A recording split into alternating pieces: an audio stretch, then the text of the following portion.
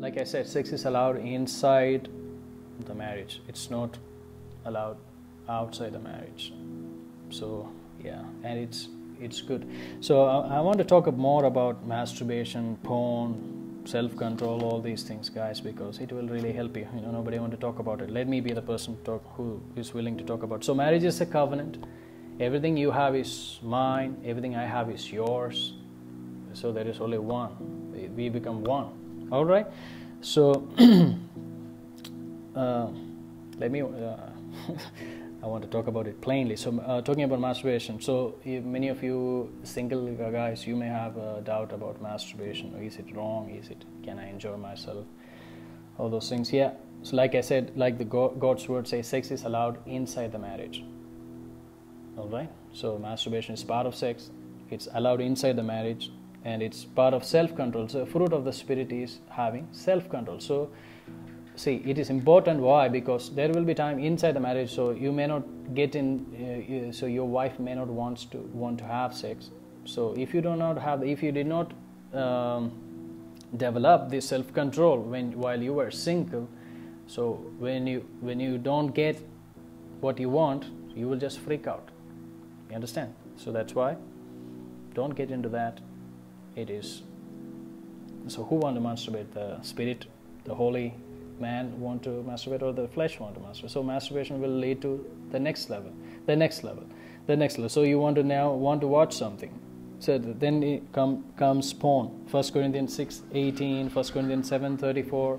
So these are all the work of the flesh. So porn is equal to fornication.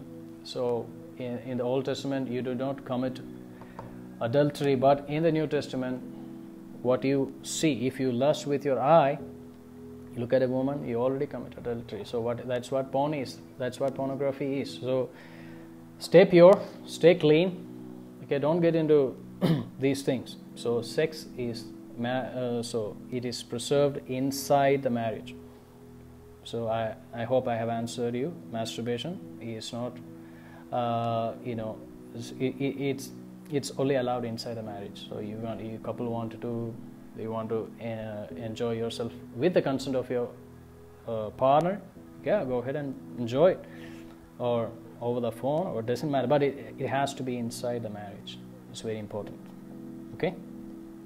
Porn uh, I, I've done a complete uh, section on porn so guys you don't want to get into porn it's an addiction it will it will destroy it will tear down your marriage relationship it will make you dull and dumb Okay? It's an addiction. Get out of that.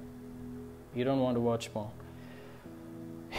You're a holy person. You carry God and you don't want to get into porn. You don't want to get into masturbation.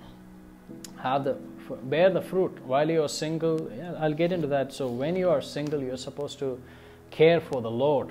So it's a relationship between you and God. That relationship is going on so once you get into marriage, you know you have to now care for and you have to please your husband, you have to please your wife. There are things you have to take care of their body, you have to take care of your body, you have to do certain things.